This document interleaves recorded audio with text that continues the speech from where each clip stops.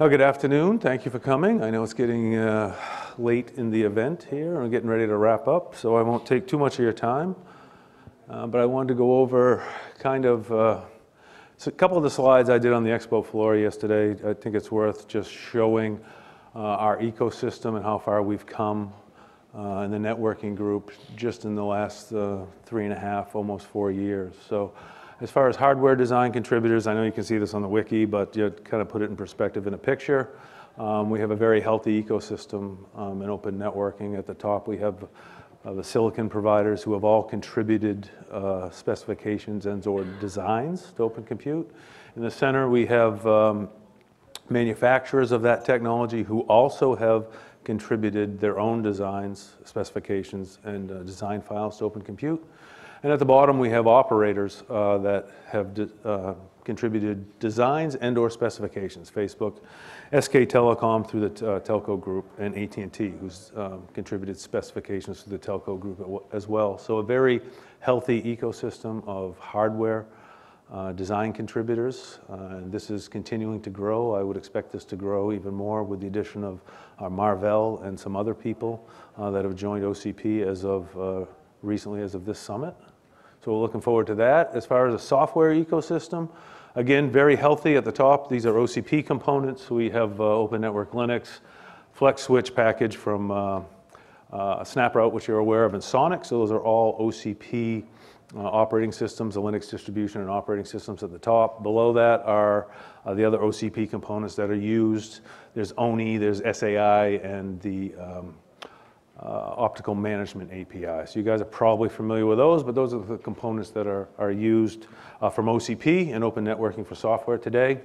At the bottom of this slide are uh, either commercial or open source type offerings um, for open networking switches. So there's a lot of software uh, options out there, and this is just a snapshot. The most recent option, of course, was the announcement from Arista uh, yesterday that they were uh, going to start to disaggregate their EOS software and offer their, at least their BGP application in a uh, containerized format on top of SONiC, right? So that's kind of a, a big announcement, a, uh, you know, kind of a, a tier one-ish type incumbent announcing that they're going to start to play in the open networking space um, as far as riding on top of hardware. So I thought that was a, a worthy announcement yesterday. So a very healthy software ecosystem we have uh, going here.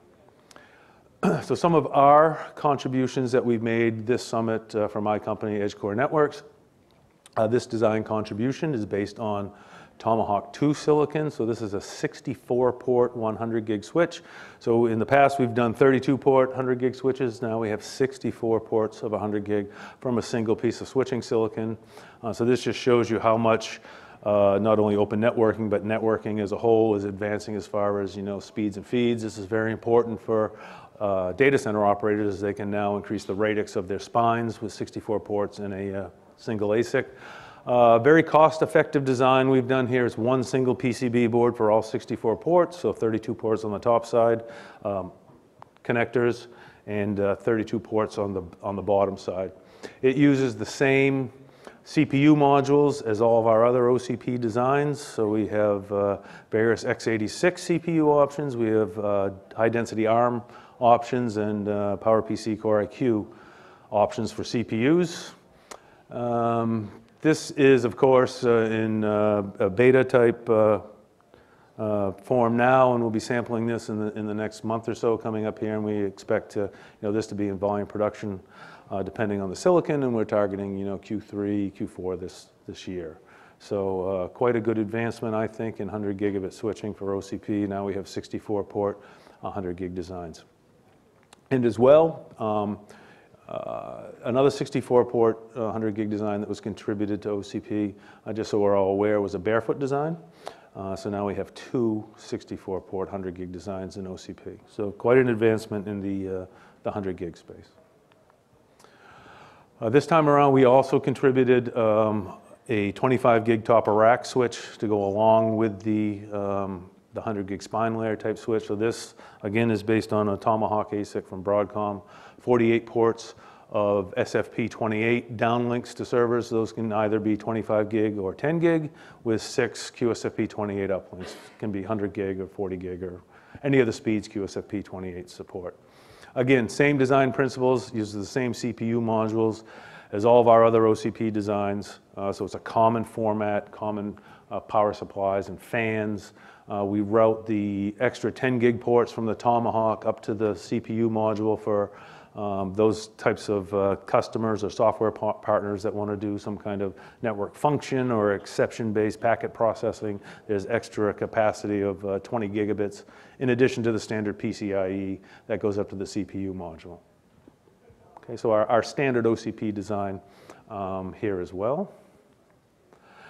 And we continue to push on uh, other areas of open networking um, in addition to just the data center. So uh, last year at Summit, we did the initial um, contribution of products uh, for campus, branch, and wireless.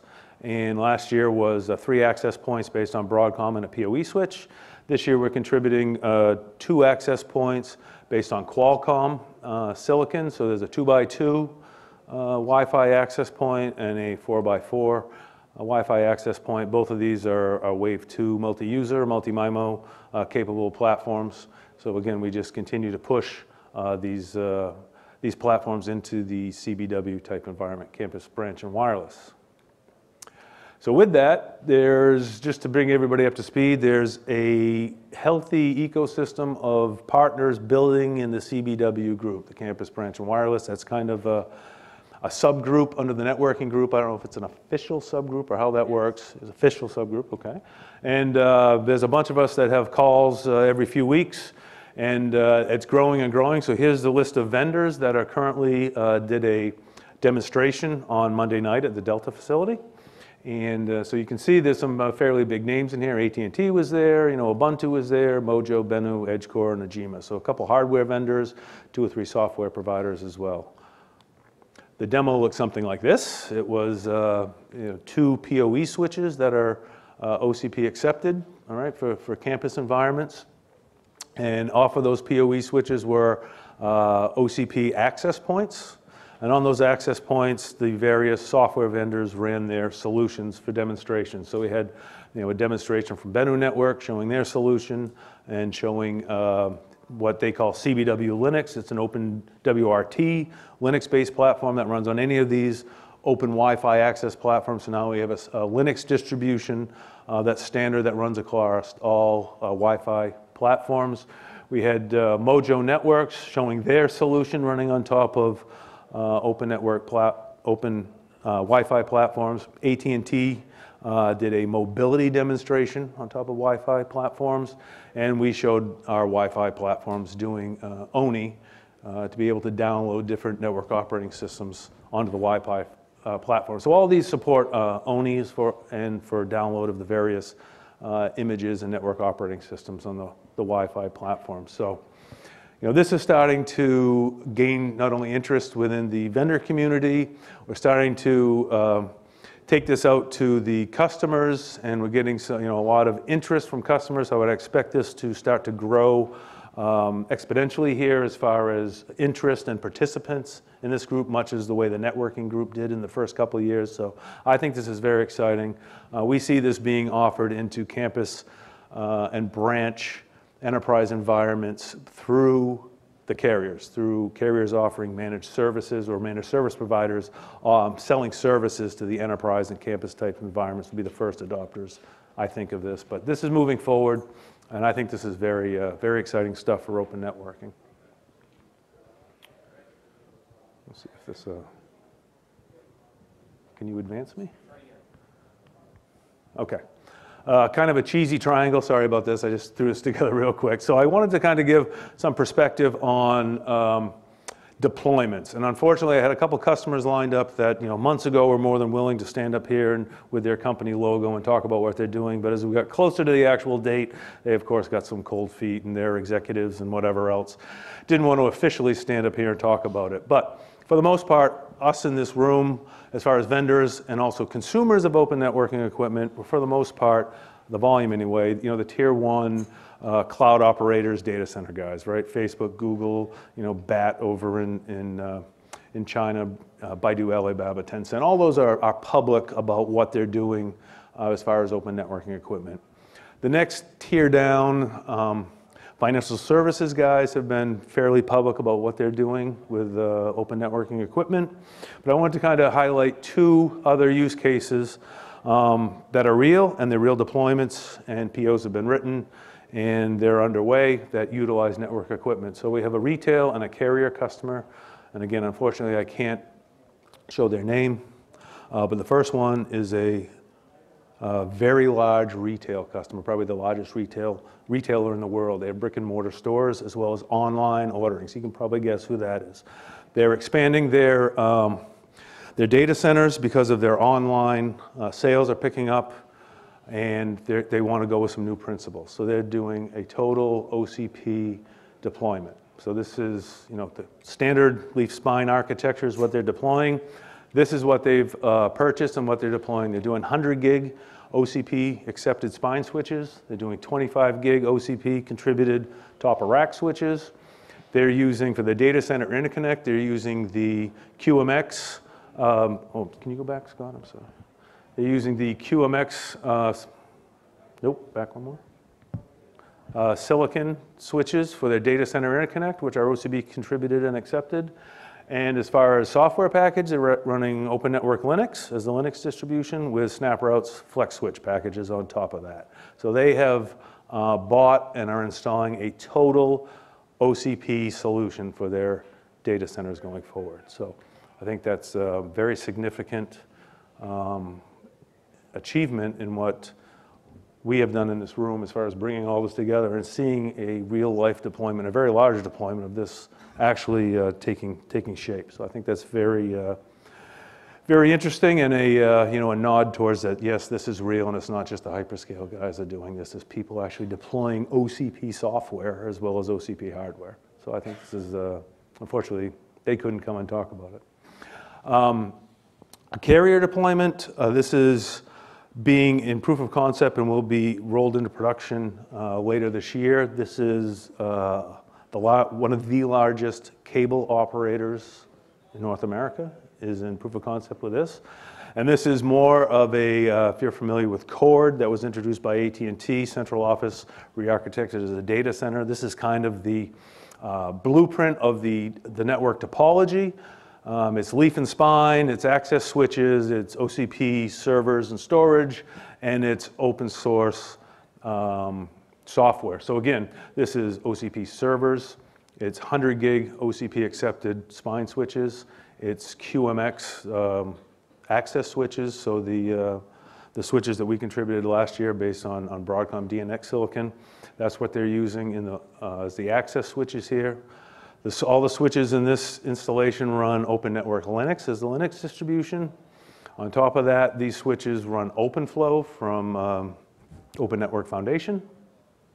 Um, and the overall architecture is a CORD architecture from ON Labs using uh, ONOS as a controller. So this again is a total open networking solution. Some of the pieces aren't OCP specific that are from CORD, but they're from the ONF. So again, we, a, a good um, solution here of how OCP hardware, some OCP software, with the addition of other open community um, things that are going on come together to provide a total open solution to customers. Okay, so that's, uh, that's ongoing as well. And that's really it. I don't want to take much time. Um, that's what, that, what we're doing. That's uh, some of the installations that are going on, an update on the CBW stuff, which I think is uh, very exciting. And if you want, I can take some questions.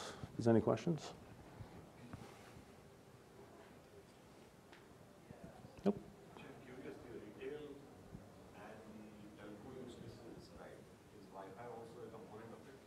Um, So the question was, in the uh, two use case deployments that are underway, is Wi-Fi a part of it? Unfortunately, it's not yet.